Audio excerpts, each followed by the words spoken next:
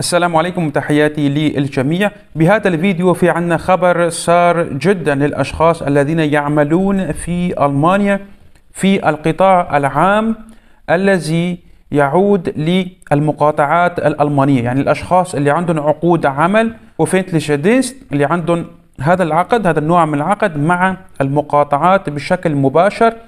في لهم أخبار سارة وزيادة في رواتبهم حتى الأشخاص اللي يعملون عندهم عقود اللي عم يعملوا أوس بيلدونج في عندهم زيادة برواتبهم وفي كمان مكافآت لهم بنهاية هذا الشهر أو ضمن هذا الشهر.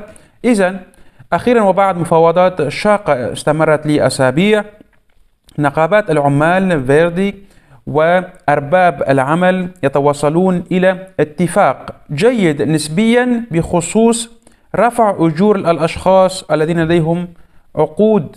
مع المقاطعات الألمانية. 16 باستثناء مقاطعة هيسن. يعني كل المقاطعات العاملين في القطاع العام الأوفيتلي راح يكون في زيادة لهم باستثناء مقاطعة هيسن. مقاطعة هيسن لها حالة خاصة لها نظام عمل خاص فيها يعني لها أشياء خاصة فيها. وهي المقاطعة مستثناة من رفع الأجور. ممكن تعمل يعني شيء خاص لها ترفع الأجور لوحدها خارج المقاطعات الخمسة عشر الأخرى اللي اتفقت على زيادة الأجور. إذا رفع الأجور على الشكل التالي. الأشخاص اللي عندهم عقود راح يكون هناك زيادة في رواتبهم 200 يورو شهريا. 5.5% إضافة إلى تعويض مرة واحدة 3000 يورو خالية من الضرائب.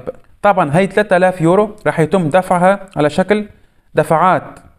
أول دفعة هذا الشهر شهر ديسمبر ديسمبر 1800 يورو والباقي على شكل دفعات صغيرة في عام 2024 تبدأ من واحد واحد وتنتهي بشهر أكتوبر يعني 120 يورو. الباقي 1200 يورو راح يتم دفعه على شكل 120 120 120 ابتداء من واحد واحد لغاية شهر أكتوبر 2024 بيكون انتهوا من دفع هذه المكافأة. أيضا الأشخاص اللي عم يعملوا أو سبيلدو تدريب مهني وعندهم عقد مباشر مع الولايات الألمانية مثل ما ذكرناها يعني عقد مباشر مع الولايات وفنتلشدنس راح يحصلوا على بداية من شهر نوفمبر وليس 1 1 2024 بداية من شهر نوفمبر راح يحصلوا على 100 يورو شهريا زيادة وأيضا 50 يورو بعدها. طيب طبعا العاملين واللي عم يعملوا أوس بيلدونج بشكل مباشر مع المقاطعة. طيب ما هي الفئات المستهدفة؟ يعني حكينا أنه في زيادة 3000 أوكي جميل جدا ولكن من هم الفئات المستهدفة؟ اللي عم يعملوا بالقطاع العام اللي عم يشتغلوا بالقطاع العام مع المقاطعات الألمانية. يعني على سبيل المثال المعلمين المعلمات الممرضين الممرضات الأشخاص الذين يعملون في الرعاية الصحية في روضات الأطفال وهي روضات الأطفال بتكون تابعة للمقاطعة يعني قطاع عام. أيضا الموظفين والموظفات في القطاع العام التابعة للمقاطعات بالإضافة إلى القضاة وأيضا الموظفين الذين يعملون مع القضاة وأيضا موظفي المحاكم طبعا. إضافة إلى الشرطة وعمال النظافة. يعني هؤلاء الأشخاص بيكونوا جميعهم تابعين للقطاع العام ويكون طبعا تابع للمسؤولين في المقاطعة. يعني بيكون راتبهم جاي من المقاطعة اللي بيعملوا فيها وليس من القطاع الخاص. القطاع الخاص القطاع الخاص هو إنه شركة خاصة أو مكان عمل خاص معمل خاص. حتى بتكون في شركات قطارات خاصة في يعني شركات تهتم برياض الأطفال بتكون خاصة فهؤلاء الأشخاص ما راح يكون في لهم زيادة. طبعا هؤلاء الأشخاص الثانيين بالقطاع الخاص ايمت بالزيادة بتشملهم؟ الزيادة بتشملهم إذا بيكون في رفع في الأجور.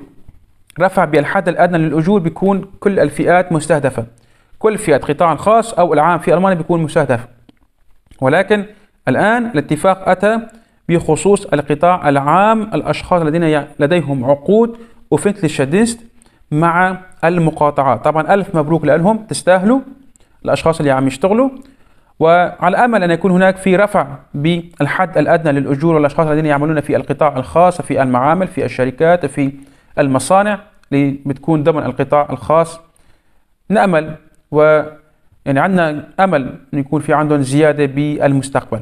والف مبروك للجميع وتصرفوهم بالهنا وتستاهلوا أكثر من هذا المبلغ. طبعا ابتداء من يوم الغد يوم الاثنين أول أيام العمل ممكن تخبروا المسؤولين الشيف المسؤول عنك في العمل تخبره بهذه الزيادة كيفية الحصول على هذه الزيادة كيف ممكن تحصل عليها وتتأكد يعني إذا رح تحصل عليها أو لا إذا أنت عم تشتغل بالقطاع العام من بكرة فيك الطالب بهذه المساعدة طبعا أنا رح يحولوا لك إياها على حسابك على الكونتو.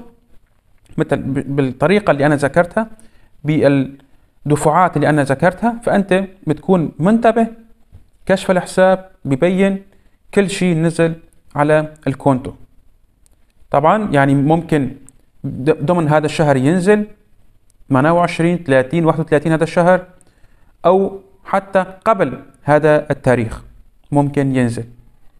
طبعا مثل ما قلنا 3000 معفيه من الضرائب أول دفعة بهذا الشهر 1800 يورو.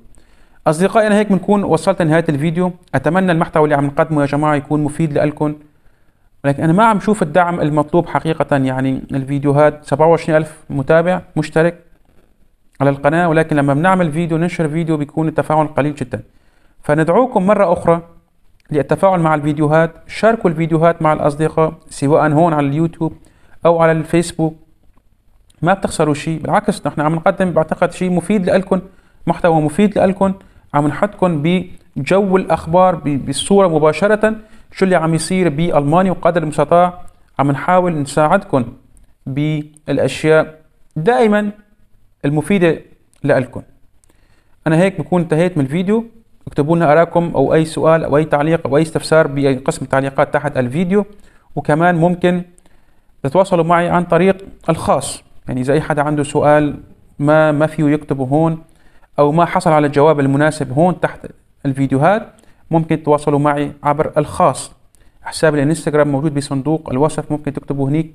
تابعوني وتكتبوا هنيك أو تكتبوا التعليق ضمن الفيديوهات المذكورة هنيك بس تكتبوا أنه بدي مساعدتك في الخاص أو سؤال خاص أنا فورا راح رد عليكم.